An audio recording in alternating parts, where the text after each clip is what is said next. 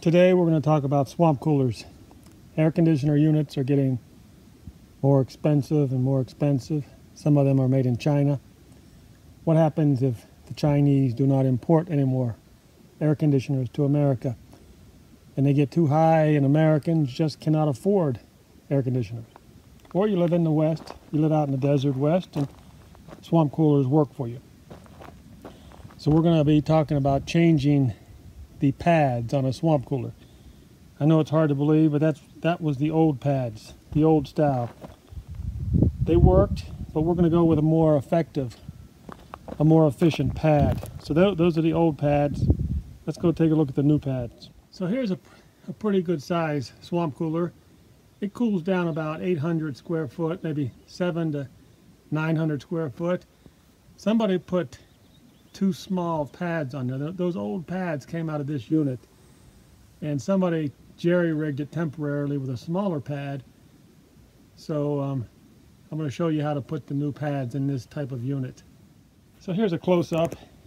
This is the uh, panel that was missing, as you can see right here. The pads were just too small. Maybe they only had 24 by 30. They put it in there temporarily to make it work temporarily, but now we're going to make put the right pads in there. Now the right pad would be about 27 by 30. But they don't have a 27 by 30, so we're going to make this one work, 29 by 30. We're going to use this DuraCool pad. Now DuraCool says it's 10% cooler than paper 6% cooler than the hand-packed Aspen. So there's what DuraCool says. Up to 25% more efficient than paper pads. The old, um, now at the end of the video we're going to go to a smaller unit where they do have the paper pads. I want to put these these old ones, this, it's not really old, it's new but used. We're going to put these in a smaller unit that has paper pads. So stay with us as we do this. Now all you have to do here is pull these down. You pull these down on both sides to pull this out. Okay, so when you you pull down here, pull down here, this comes out, this pulls out, and then of course it'll slip out here real easy. So you see I pulled it out of there. This was came out of here. Now you just push this one off, pick it up, it pulls right out. There you have it. So as we said, this one's too small. We're going to put this in a smaller unit. We have a spot. We have another swamp cooler for those two. So now we're going to put this bigger one in here. Okay, so you see I slipped it in place. You start at the top start at the top, just push it in there. Go all the way down to the right and just push it in. Push it in. Push it in. That's all you have to do. See that? Push it in as far as it'll go. Squeeze it. Now you notice I told you this one was a little big here. See it's a little big? Now some people might want to cut that. And I thought about cutting it. But I tell you what, I come up with a better idea. You see, this thing pushes it in. The metal frame pushes it in. So I'm just going to bend it a little bit. Bend it like this. See how I bend it a little bit? Push it in there. Make sure that's in the top part. I'm just going to crimp it and bend it. Now, believe it or not, by crimping it and bend it, it's going to give you more area for water. This is going to this is to be like a sponge here. This is actually going to be better. So I believe better than cutting it. Just go ahead, leave the whole thing in there. Cringe it up. Force it in there. Now you're going to have a little bubble there. See, you're going to have a little bubble as we go down. Now, normally, on some units this won't work, but as long as you have a metal frame, a really strong metal bracket that will push it in there. This will leave for more water retention. This little thicker area on the left, like a sponge, it'll just hold more water, be more efficient. So I don't believe there's any way, there's no reason to cut it. And I'll show you what it looks like when I put the frame on. Okay, anyhow, how do you start? Only the way you start is you put the bottom in first. On the frame, you put the bottom in first, which is very simple. Push it down as far as it'll go. You see, you see how this unit will push the, the thick part down? And then on the top, all you do is push these down and push this forward by pushing this down with one hand and bending it. See how you bend it? All you do is bend it and these slip right in the top. There it is, it's all done. Actually, I missed this. I missed one here. You see how you bend this? Bend it. Hard to do it with the camera. Let's see if I can do it with the camera. I don't think I'm gonna do it with able to hold the camera. Okay, well I'll put the camera down and slip that back in there. You notice uh, over here, that's under there, that's under there, and all the ones on the bottom. So let me go ahead and slip that one right there Ready to put in the swamp cooler. As I can tell you, this bubble, this little bubble is not going to hurt anything. So no reason to cut it. Now let's go ahead and put it back in the unit. Okay, we're going to put it back in. You know this little ledge here? The little ledge goes on the bottom. That's how you that's how you pick them up. When you want to take the unit out, all you do is put both hand, hands under here and pick pick it up. So when you're putting them in, you slide this part in there first. Let's see if I can get a picture of it with the camera. See? Okay, you see how that slides in? You see you slide that in first, and the bottom. And the bottom just slips right in. That was pretty easy to do, even one-handed. So that's all set. Slide it in there first. Make sure it's make sure it sits on the bottom there. Push push your ledge down. And these two are new. This is a big, now we're going to go to the smaller unit and change the uh, pads out of the smaller unit, which is, they have paper pads. Okay, we're inside to the smaller unit. The reason why we have this little smaller unit in here is a little extra. The bigger unit just cannot cool this uh, thousand square foot down enough, so we went ahead and put a smaller unit in it. So when you work, when you're using this smaller unit, plus the bigger unit, it actually makes it quite good. Cools it down a little better. So here's the smaller unit. I made a mistake. It does not have paper pads. It has the old straw pads. But we're going to show you how to change the, uh, this like I said, it's a smaller unit. This comes into the house. And then you go outside. This is like a patio area. And here's where the pads are on the outside. So we're going to go ahead and we're going to change See how I slipped that out of there? As I said before, you just pick up the bottom, pick it up, and it pulls right out. Now on this one, on this unit, it only has one door, as you can see. So it has one door, and then it's got three pads, one on this left side, one on the right side, but those doors don't open. So if you have a unit like this, it'll be it's still it's still very easy to change these. We're going to show you how. So we're going to take this outside and um, change this one first and then we'll have to come back in to change these two on the side. Okay, one thing I did not mention in the last when I did the bigger units is always make sure your little trough you see the little trough right there this is the trough where the water the pump pumps the water in here this is on the top so your little trough here is always on the top. The reason why I didn't mention it before is because is if you always put your lip, if you always put your ledge on the bottom, it's uh, it's dummy proof, idiot proof, you might say.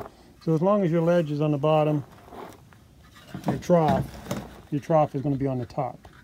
So it's kind of hard to it's hard to screw up, but there's a reason, right? You see that dust? see all the dust? You might not be able to see it. There's a lot of dust in the uh, straw. I also believe that these may be a little bit healthier. These new pads may be a little healthier than the straw pads. I'm not sure about the paper pads, which one's healthier. But they say DuraCool is more efficient. So here we go. Now we're going to take this out of here. These metal clamps, they'll work a little different. Here you have to pull this, you have to pull like this. Pull this side, pull that side. See if I can do it. Yeah, hard to do holding the camera. Okay, I can't do that one holding the camera. Same thing here. Push that up that bit. And do that side, push it up.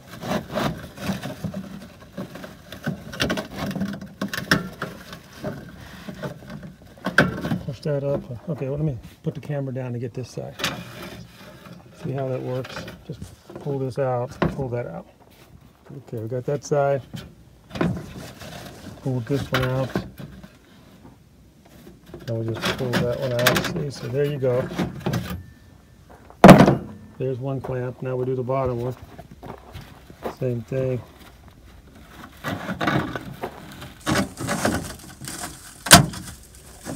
That clipped out uh, pretty easy. And I'll do the rest the, after I put the camera down. Again, just pull this one out. Pull this one out. Very right, easy. So we got the metal clamps out. Now we're going to pull out the old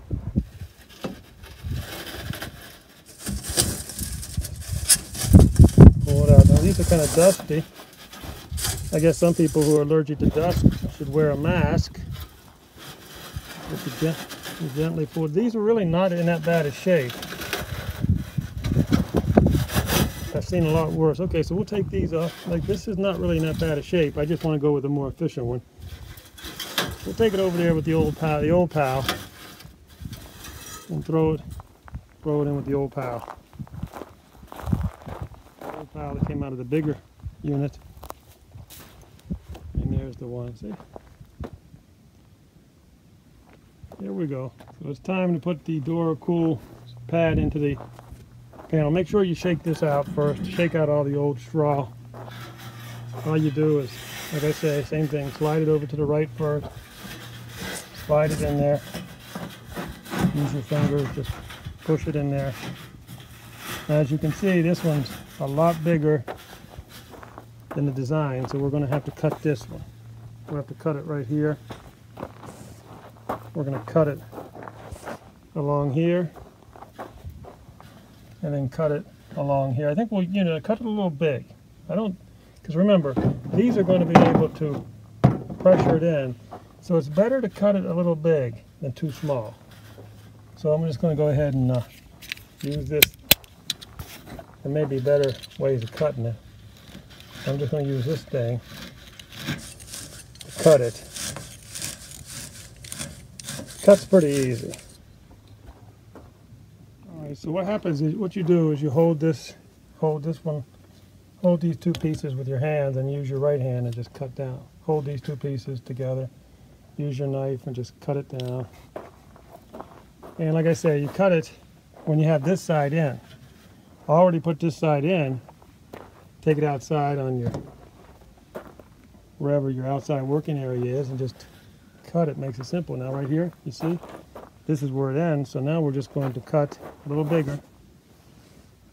Just not, you don't want to go too big because it'd be hard to fit in back into the unit. Just going to cut right down here. Very simple. So we just cut it.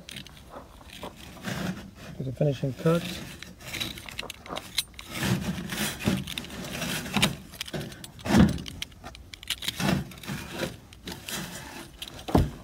Very simple, pretty easy to cut too.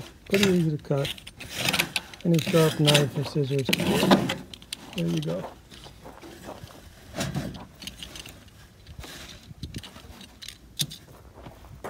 Now we just push those back in.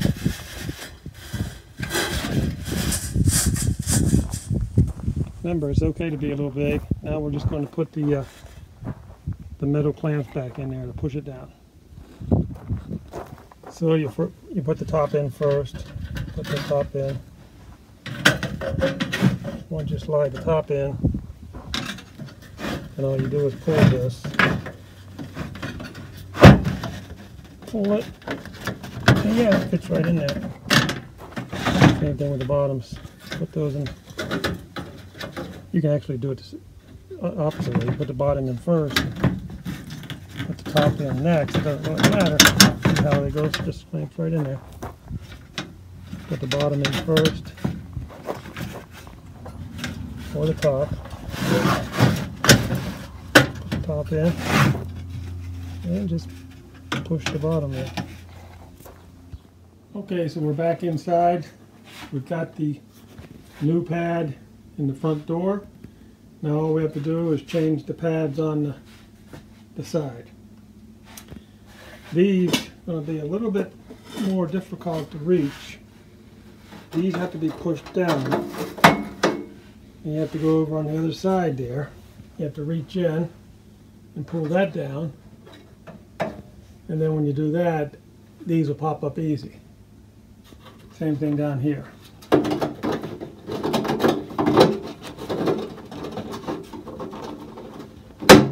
Pull that down. Pull that down. That's pretty easy. So once once that one comes out, then the top will come out easy. It's supposed to, not easy. There we go. You don't have to jiggle it. Have to jiggle it. Jiggle it. But there you have it. That the bottom, the bottom one is going to be easier than the top, mainly because the brackets you have to reach over there. So let's go ahead and take all these out of here.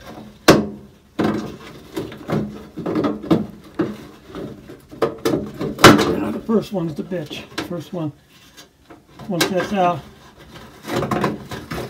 and that pops out. There you go. So then once the brackets are off, you just push this in and gently drag it out of there without making too much of a mess.